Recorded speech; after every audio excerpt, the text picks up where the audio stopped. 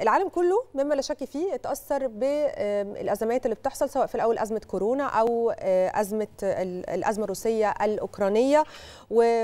والاقتصاد العالمي كله اتأثر ومما لا شك فيه الاقتصاد المصري كمان اتأثر بسبب الأزمة العالمية. لكن مبادرة حياة كريمة شغالة وبتنجز بمعدلات كبيرة جدا في كل القرى اللي ضمن المبادرة. دلوقتي بقى في مشروعات خدمية انتهت بنسبة 100% في عدد من قرى ومراكز محافظات الوجه البحري والجيزة. خلونا نشوف إزاي في التقرير اللي جاي. المبادرة الرئاسية حياة كريمة تواصل نجاحها في تحويل حياة المصريين للأفضل وتحقيق عدد من الإنجازات على أرض الواقع بمحافظات الدلتا في مختلف مرافق البنية التحتية.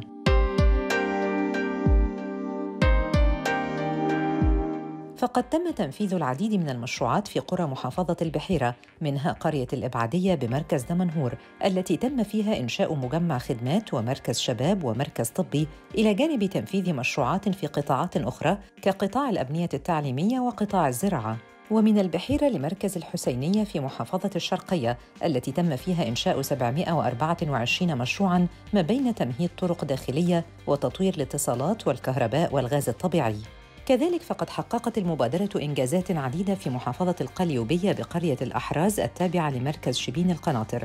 وتم الانتهاء من مجمع الخدمات ومركز طب الأسرة والوحدة البيطرية وتغطية مصرف الأحراز بنسبة 100% وجاري العمل على مد وصلات الغاز الطبيعي للمنازل ورفع كفاءة مركز الشباب وإحلال وتجديد الجهد المتوسط للكهرباء. أيضاً تم إنجاز العديد من المشروعات بمركز زفتة في محافظة الغربية في قطاعات عديدة كالصحة والتعليم والزراعة والكهرباء والمياه والاتصالات. وتم أيضاً تنفيذ عدد من المشروعات في مختلف القطاعات بقرية الحصحص في محافظة الدقهلية لخدمة المواطنين، وذلك في قطاعات الصحة والزراعة والتعليم وجميع الخدمات العامة. وتم الانتهاء من مركز شباب الجراويين بالحصص والوحدة الصحية بنسبة 100% والمجمع الزراعي ومجمع الخدمات بنسبة 98% ومحطة معالجة الصرف الصحي بنسبة 85%.